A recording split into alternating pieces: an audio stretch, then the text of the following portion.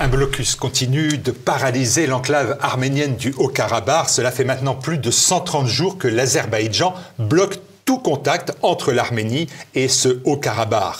Un drame qui se joue à 3500 km de Paris. Et pour en parler et parler de l'Arménie, je suis heureux d'accueillir Corentin Clair, qui est le chef de mission de l'association SOS Chrétien d'Orient en Arménie. Bonjour Corentin Clair. Bonjour Marcel Bild. Alors on évoquait à l'instant le Haut-Karabakh, on, dit aussi Artsar. Tout à fait. Le nom arménien, c'est Artsar. Le mot Haut-Karabakh, c'est un mix du turc et du russe qui signifie jardin noir du fait de la couleur de la terre et de la fertilité de ce sol. Alors on parle donc de cette enclave arménienne. Quelle est la situation sur place? Car malgré les appels de à la communauté internationale, 120 000 Arméniens, hein, c'est le nombre dans cette enclave du Haut-Karabakh, sont privés de, de, biens de, première nécessité. Est-ce qu'on peut parler véritablement de crise humanitaire?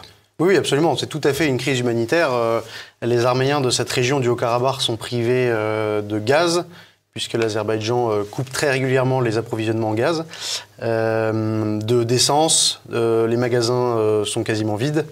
voilà, l'électricité présente des coupures. Les écoles, par exemple, cet hiver ont dû être fermées faute de pouvoir être chauffées. Les, habitants des villages ne peuvent plus se rendre dans la capitale Stepanakert pour s'approvisionner en biens divers. Les hôpitaux manquent de tout, notamment d'oxygène, de sondes alimentaires, etc. Donc oui, nous sommes réellement euh, confrontés à une crise humanitaire dans cette enclave du Haut-Karabakh. Ce corridor euh, est tenu par l'Azerbaïdjan, c'est le corridor de, de Chine. Oui. Hein. Il est tenu par l'Azerbaïdjan. Concrètement, Qu'est-ce que devrait faire la communauté internationale? Alors, pour être tout à fait précis, ce corridor devrait être tenu par les forces de maintien de la paix russe. En effet, le, traité de cessez-le-feu signé entre l'Arménie et l'Azerbaïdjan en novembre 2020 stipulait que cette route, ce corridor, euh, devait rester ouvert euh, et euh, était protégé, dont l'accès était garanti par les, forces de, maintien de la paix russe, qui n'ont pas rempli leur mission, puisque voilà maintenant quatre mois, des soi-disant militants écologistes de l'Azerbaïdjan, dont on s'est rendu compte après coup qu'ils étaient subventionnés par, par le pouvoir de Bakou, ont coupé ce corridor sans réaction de vive force des Russes. Euh, et depuis, ils empêchent euh, tout approvisionnement de, marchandises, tout passage de convois civils. Seule la Croix-Rouge internationale et euh, les convois des militaires russes sont autorisés à passer. donc voilà, c'est un, problème réel. Et, il n'est plus possible pour les, pour les Arméniens de franchir ce corridor sans une autorisation de l'Azerbaïdjan, que l'Azerbaïdjan ne donne pas aux citoyens arméniens. Problème résolu, il s'agit bien d'un blocus. Il s'agit d'un blocus. Ce blocus, il touche 120 euh, 000 personnes, je l'ai dit, euh, qui sont prises en otage, dont un peu plus de 30 000 enfants. Euh, et à, cela s'ajoute aussi un, problème sécuritaire important. L'Azerbaïdjan a accumulé ses troupes et son matériel militaire le long de la frontière arménienne, notamment à Vardinis et à Goris.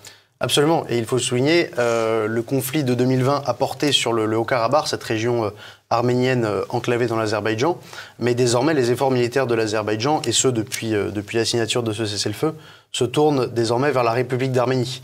Euh, régulièrement, des attaques sont menées sur le sol de, du territoire internationalement reconnu de l'Arménie.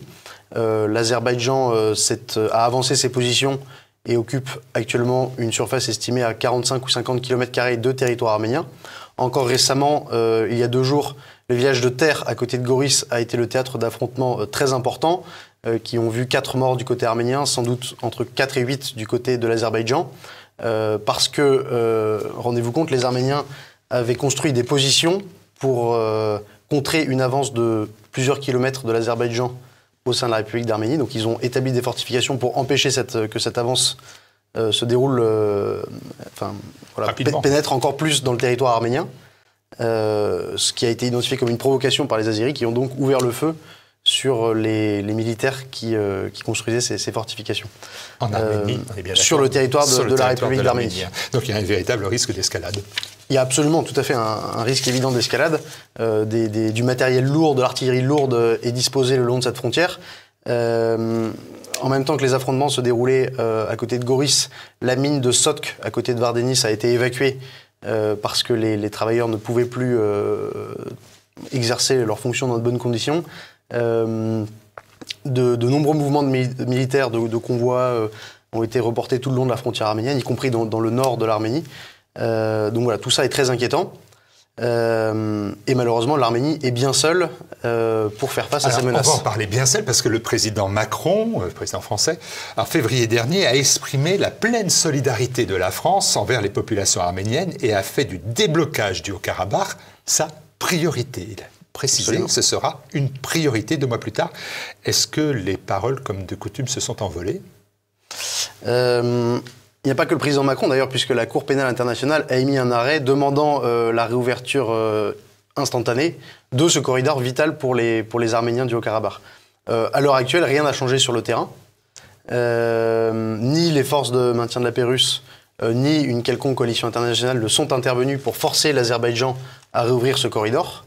Et euh, il paraît inenvisageable à l'heure actuelle euh, de voir cet arrêt de la, de la CPI appliqué euh, pour ouvrir ce corridor. voilà, il y a, aucune... Et qu'est-ce que la Commission européenne? Parce que la présidente de la Commission européenne, Mme von der Leyen, est omniprésente dans le conflit en, Ukraine et, elle semble assez absente, ou même quasiment absente, dans ce qui se passe en Arménie, à nos portes aussi. Tout à fait. La dernière, euh, euh, la dernière prise de parole connue d'Ursula von der Leyen euh, concernant ce conflit a été la qualification de l'Azerbaïdjan comme un partenaire fiable pour l'Union européenne, puisqu'elle venait de signer un, important contrat gazier pour contourner l'embargo sur le gaz russe.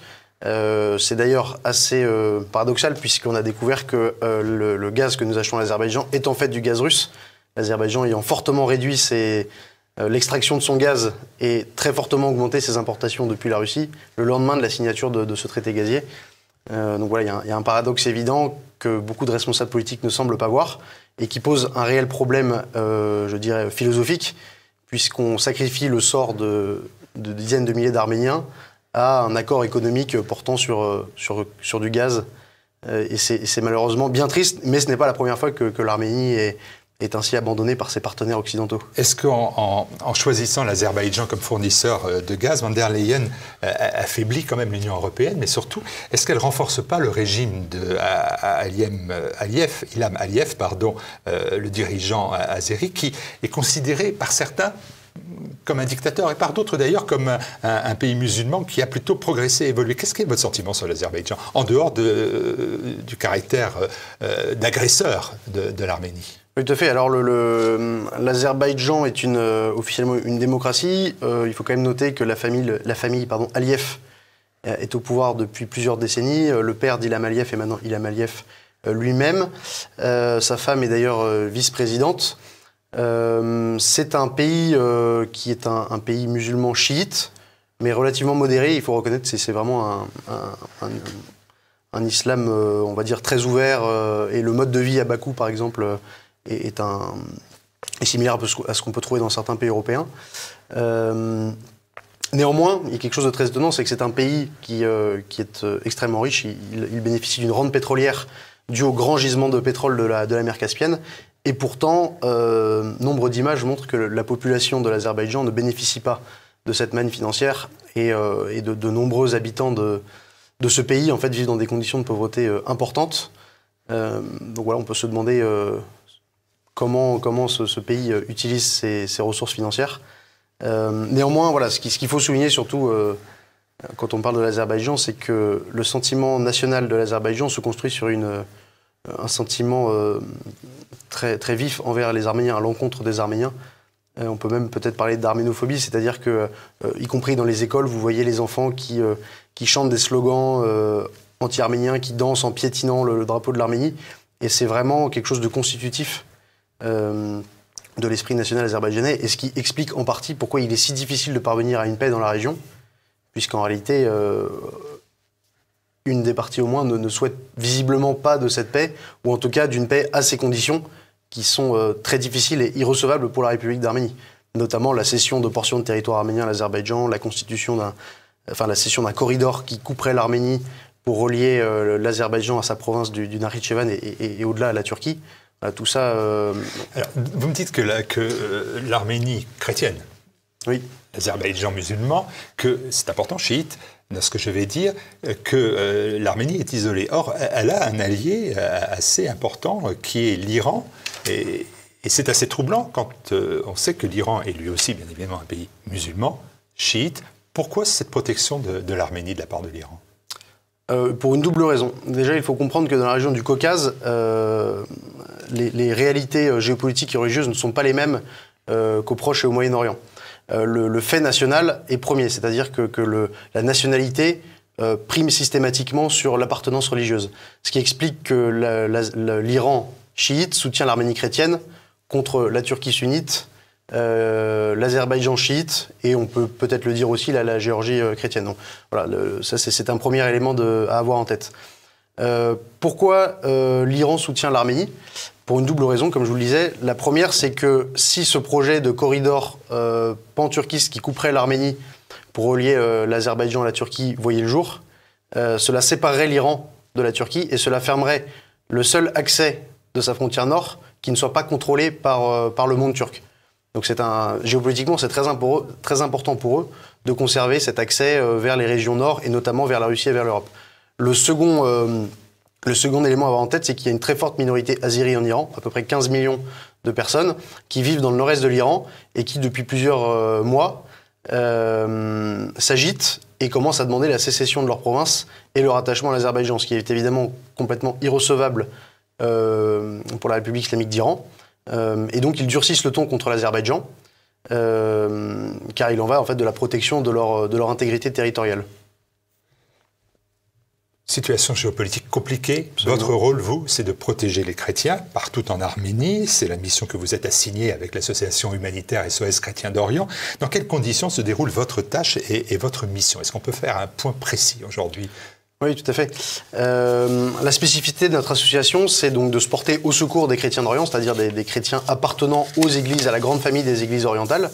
Euh, et pour, euh, pour ce faire, nous avons des équipes de, de bénévoles de volontaires qui viennent euh, de différents pays occidentaux, majoritairement de France, mais, mais aussi d'ailleurs, euh, qui nous rejoignent pour porter secours euh, à ces chrétiens. Ainsi, l'aide que nous apportons n'est pas seulement une aide matérielle, mais constituée aussi dans, voilà, dans du travail fait par les volontaires pour des familles, refaire un toit, refaire une salle de bain, rendre visite à des familles, jouer avec les enfants, donner des cours de français par exemple. et cette, cette présence permanente des volontaires sur le terrain nous apporte également une très bonne connaissance, une connaissance très fine des zones dans lesquelles nous travaillons, et ainsi des par conséquent des besoins humanitaires euh, des populations dans ces, dans ces régions-là. Euh, voilà, il y a à la fois un travail des volontaires, mais aussi un, travail d'information de, leur part pour nous faire remonter les besoins que nous traitons. Nous avons vous êtes basé à, Yerevan, mais vous avancez bien évidemment dans les régions comme dans le Sionik ou, ou même dans Larsa. Tout à fait. Nous avons euh, quatre bureaux euh, ouverts en Arménie. le bureau de, Goris, qui a été le premier, donc c'est la région du Sunnik, du sud de l'Arménie, la plus touchée par les, combats récents. Et Goris, c'est la porte d'entrée du corridor de la Chine vers le Haut-Karabakh. Nous avons également un bureau à Vardenis, au sud du lac Sevan, qui est à 5 km de la, 10 km de la, frontière, euh, et un autre à Gyumri, dans le nord, et puis évidemment un, bureau central à Yerevan. mais il est très important pour nous d'être présents dans, ces villages frontaliers, parce que c'est ici que les, Arméniens ont besoin d'aide. Ils ont besoin de voir que euh, leur sort n'indiffère pas les Occidentaux. Euh, et voilà, pour nous, c'est une priorité de travailler dans ces, dans ces régions frontalières. les chiffres qui sont à ma possession sont les suivants. 150 volontaires sont partis sur le terrain euh, depuis que vous menez une action en, Arménie, une aide à plus de 15 000 bénéficiaires et, des projets de reconstruction, vous en parlez, des projets économiques, des projets médicaux. En fait, vous intervenez sur plusieurs micro-sujets ou micro-actions? Oui, absolument. Euh, micro ou macro, d'ailleurs, on a aussi des, projets euh, plus importants. Nous avons par exemple financé un scanner pour l'hôpital de Goris. Mmh. Euh, mais nous avons effectivement la, capacité d'agir sur tout un scope de, de projets et d'aller voir chaque famille individuellement non seulement on, peut faire des projets régionaux, mais on peut aussi, on a la capacité d'aller dans le détail, euh, visiter des familles et leur faire, euh, euh, voilà, leur acheter quelques têtes de bétail pour leur permettre de survivre, quelques lapins, parce qu'une des grandes difficultés de l'Arménie, c'est que les, les, paysans qui travaillent dans les régions frontalières ont perdu leurs aires de pâturage. Et donc c'est très difficile pour eux d'entretenir leur, leur troupeau. Donc nous essayons de leur proposer d'autres solutions et d'autres modes d'élevage. Nous faisons également des travaux d'irrigation du soutien dans les écoles, soit par des cours de français, soit par, euh, pour acheter de, l'équipement divers. Euh, des opérations d'urgence, c'est-à-dire que dès qu'une crise euh, intervient, nous essayons d'y répondre avec l'aide de, nos équipes sur place, puisque nous avons des bénévoles, mais nous avons aussi de nombreux salariés dans les régions. par exemple, récemment, nous avons réussi à faire passer une cargaison de semences de pommes de terre à destination du Haut-Karabakh, malgré le blocus. Donc c'est une, grande joie pour nous d'avoir pu contribuer à, alléger un peu les peines et les souffrances de ces Arméniens du Haut-Karabakh. Euh, voilà, donc vraiment, euh, on ne s'interdit aucune, euh, aucune action au profit de la population civile. dès lors qu'on peut les aider à améliorer un petit peu leur, quotidien. D'où votre popularité sur place. Vous êtes à la tête de la mission, mais vous formez un binôme avec votre épouse Camille, chargée du développement des, projets. Comment en, vient-on à, décider de consacrer les, premières années de, son mariage à, une action humanitaire? Comment en arrive-t-on Oui, vous avez raison de le souligner, c'est vraiment une volonté de, s'engager pour une mission humanitaire vraiment dans, les premières années qui ont suivi notre mariage. On a eu quelques exemples familiaux qui nous ont euh, mis cette idée en tête, mais nous avons décidé de partir euh, dans une mission pour, euh, pour l'Église. au départ, d'ailleurs, le projet était assez ouvert. Ce n'était pas spécifiquement lié à SOS Chrétien d'Orient, mais le, les circonstances, les différents échanges que nous avons eus nous ont amené à ouvrir cette mission en Arménie. Et ça a été d'ailleurs une arrivée un petit peu particulière puisque euh, le, la perturbation des vols due au Covid nous a fait arriver un mois plus tard et nous sommes arrivés cinq jours après le début de la guerre de 2020. Donc plongé immédiatement euh, dans l'action et dans l'actualité. Donc ça a été un démarrage euh, un peu brutal. D'autant plus qu'il a fallu créer une mission permanente sur place. L'association était présente depuis trois ans en Arménie par le biais de voyages ponctuels pour apporter de l'aide humanitaire. Mais la mission qui nous a été confiée a été d'installer une mission permanente, d'accueillir des volontaires, d'ouvrir des bureaux, de recruter des salariés. Donc voilà, tout ça a été euh, C'est pas répondre à ma question vraiment. Est-ce que euh, qu'est-ce quelle est la décision? Est-ce que c'est une décision humanitaire? On va faire du bien, on va les protéger, ou est-ce que c'est une démarche spirituelle? Ce sont les deux. Oui, alors il y a à la fois euh, une dimension spirituelle certaine de vouloir s'engager pour l'Église, pour pour une pour agir en tant que chrétien et donner du temps pour pour les plus pauvres, les plus petits. Euh, et en même temps, c'est euh, la perspective euh, d'une mission intéressante sur le terrain pour apporter de, l'aide avec une dimension peut-être plus professionnelle, apporter de l'aide humanitaire, organiser des, convois logistiques, tout ça est, très intéressant. Donc il y a à la fois cette, cette recherche spirituelle, cet intérêt pour, le métier de l'humanitaire, et la volonté en tout cas de donner du temps pour les autres. Qu'est-ce que vous retenez de l'Arménie et de son peuple euh, vous, avez dit, euh, je, vous cite par-delà les paysages, les monastères millénaires et l'accueil des Arméniens, je suis impressionné par l'unité et la cohésion de ce peuple. L'Arménie doit être un pays modèle pour l'Occident car elle a de vraies convictions. Oui, tout à fait. Euh, c'est très frappant quand on, quand on vient d'Europe de voir ce petit peuple, petit par sa taille, mais grand par son histoire, immense par son histoire. C'est un peuple qui a 5000 ans d'histoire. C'est un des plus vieux peuples au monde euh, qui, existe encore à l'heure actuelle, qui n'est pas disparu au gré des, aléas de l'histoire. Et donc de rencontrer ce peuple qui euh, est absolument euh, à la fois fier de ce qu'il ce qu'il est, de ce qu'il représente, de son passé, de son histoire, tourné vers l'avenir, mais qui ne se pose aucune question philosophique sur son identité, ses origines. voilà, les Arméniens savent qu'ils sont Arméniens. et c'est vraiment un, un, message qui porte. Et puis au-delà de cette de cette culture arménienne qu'on rencontre en arrivant sur place euh, et de la beauté des paysages qui n'est pas négligeable. Euh, il y a également le, euh, la, conviction, enfin le, les Arméniens ne sont pas un peuple belliqueux. Ils ne souhaitent pas étendre leur pays, ils ne souhaitent pas porter la guerre aux quatre coins du monde, et dans le même temps, ils sont extrêmement déterminés à défendre leur terre ancestrale, puisque bien souvent, ils dépendent de cette terre pour vivre. Quand vous êtes euh, un agriculteur ou un paysan euh, d'un village frontalier en Arménie, si vous perdez votre champ, vos territoires de pâturage, vous ne pouvez plus vivre, vous n'avez plus d'activité économique, et donc c'est un drame. Et la maison que, que, vous habitez a bien souvent été construite par votre grand-père, agrandie par votre père, et vous voulez la transmettre à vos descendants. Donc c'est vraiment quelque chose de, de, très marquant. Il y a un attachement à ce sol euh, de, de la patrie arménienne qui est source vraiment de beaucoup d'admiration pour, pour les Français que nous sommes et qui nous rendons au chevet de ces Arméniens. Et quel regard porte-t-il sur les Français Non pas sur la France, sur son gouvernement, le regard est le même partout dans le monde malheureusement, mais sur les Français, euh, en sachant que d'ailleurs l'Arménie a une importante diaspora euh, encore en France. Tout à fait. Les, euh, les Arméniens parlent vraiment d'une amitié franco-arménienne qui dépasse le simple, les simples intérêts géopolitiques ou économiques, mais vraiment ils disent le, le, le peuple français est notre ami. Euh, ça, ça a des explications historiques, puisque les liens entre la France et l'Arménie sont très anciens.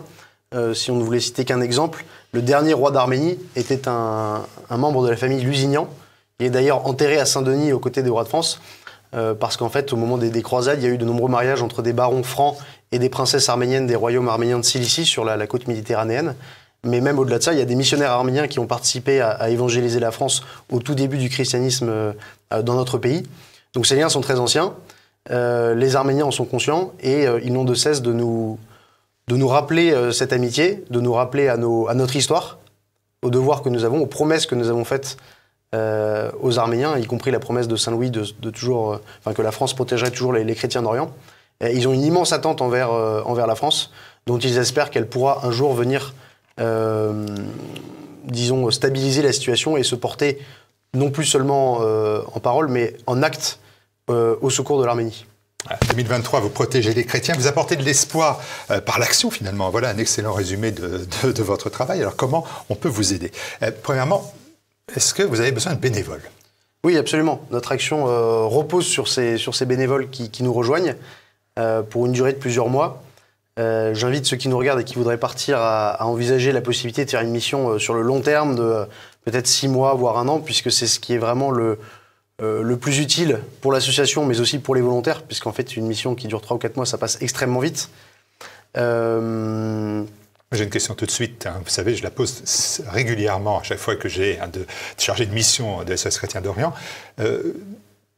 Il y a des risques, vous avez parlé d'escalade militaire, vous parlez euh, de blocus, vous parlez euh, d'otages. Euh, est-ce que c'est bien d'envoyer son fils ou son frère ou son petit-fils bénévole six mois ou un an dans des conditions difficiles? Oui, parce que l'association prend des mesures pour justement assurer la, sécurité de ces, bénévoles, qui est évidemment notre, priorité numéro un. déjà, il y a de nombreuses zones qui ne sont pas accessibles aux bénévoles. Euh, nos équipes peuvent y travailler ou, les traverser, mais les bénévoles n'ont pas le droit d'y aller. C'est la première, euh, la première chose. La deuxième, c'est que nous avons une excellente connaissance des réalités euh, sécuritaires dans les pays dans lesquels nous travaillons, parce que nous connaissons des maires de village, nous avons beaucoup d'informations qui nous remontent. Nous-mêmes, nous sommes très bien documentés sur les différents réseaux sociaux. et nous avons une démarche proactive. Donc, par exemple, pour vous donner un exemple très concret, il y a 15 jours, nous avons évacué l'antenne de Goris puisque nous avions des, des alertes sur des mouvements de, troupes. Et ce qui fait que lorsque le, les hostilités se sont déclenchées il y a deux jours, nous n'avions plus de volontaires dans la zone. Euh, et c'est une politique systématique. Euh, nous n'avons, euh, jusqu'à l'heure actuelle, en Arménie, jamais rencontré de problème liés à la sécurité, puisque nous avions anticipé les crises les plus importantes. Et de toute façon, dès qu'une région devient chaude, dès qu'on observe des mouvements de troupes, les volontaires sont tout de suite envoyés dans d'autres régions plus calmes du pays. Des bénévoles. Est-ce que, euh, on pose aussi souvent la question, est-ce que si vous avez besoin de denrées alimentaires ou est-ce que vous avez besoin d'argent pour acheter les denrées alimentaires? Voilà, ça aussi, faisons simple. Euh, en ce qui concerne l'Arménie, ça, coûte beaucoup moins cher d'acheter sur place, euh, notamment parce qu'il y a des frais de douane très importants et que l'Arménie n'ayant pas accès à la mer, tout passe par avion. donc il est plus simple d'envoyer des dons à l'association en spécifiant par exemple que c'est pour l'Arménie, pour le Haut-Karabakh. Et nous d'ailleurs nous emploierons ces, ces dons pour acheter les dorés, les, transporter, les faire livrer par nos équipes, puisque c'est quelque chose d'important pour nous aussi. On, assure la distribution jusqu'au bénéficiaire final. Euh, voilà, donc c'est vraiment la solution la, plus pratique pour nous. Et dernière question, ça fait trois ans, vous êtes euh, constamment, euh, quelques jours près, en, en, Arménie. Est-ce que vous voyez encore votre présence là-bas Alors nécessaire certainement, mais votre présence personnelle, vous, vous envisagez encore plusieurs années, plusieurs mois, ou vous pensez qu'il ben, faudra développer ou, ou se retirer un jour de l'Arménie si l'escalade militaire est trop importante. Au niveau de l'association ou à titre personnel À titre personnel, au niveau de l'association, les deux d'ailleurs. Sont très liés en ce moment.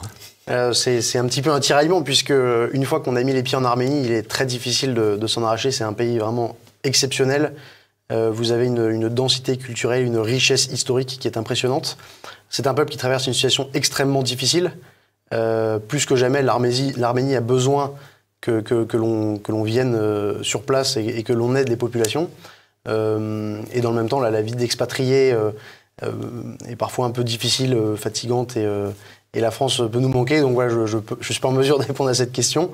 mais ce qui est sûr, c'est que si un jour je devais partir d'Arménie, avec mon épouse, ce serait vraiment un arrachement de, de, voilà, de, de, quitter cette, ce peuple arménien que nous aimons tant. C'est noté. Merci beaucoup, Corentin Claire. Merci euh, de nous donner ces informations sur l'Arménie que nous ne n'oublions pas, même si c'est un conflit dont on ne parle pas et qui pourtant se déroule à 3500 km de nos portes. D'autres conflits font la une des journaux 24 h 124. Eh bien, l'Arménie, c'est le grand silence que vous avez rompu. Merci à vous. Merci, Marcel Bild.